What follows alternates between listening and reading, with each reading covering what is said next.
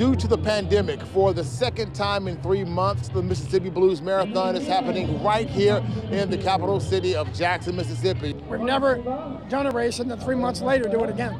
So it's a first for me.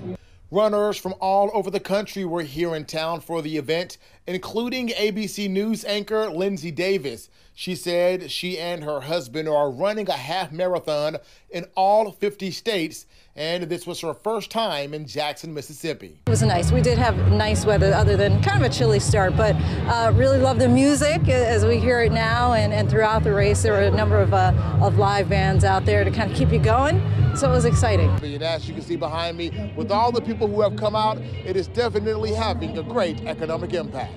I think it gives you the opportunity to highlight your business, what you can offer this large group of people. This is one of those marquee events that brings in, you know, three and a half to five million dollars of economic impact.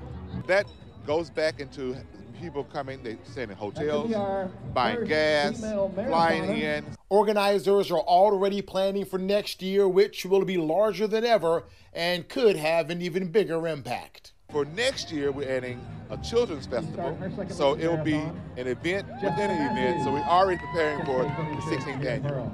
And we're going to have music, God willing, till about five or six o'clock in the afternoon, and make a blues festival out of this event. Marcus Hunter, 16 WAPT News.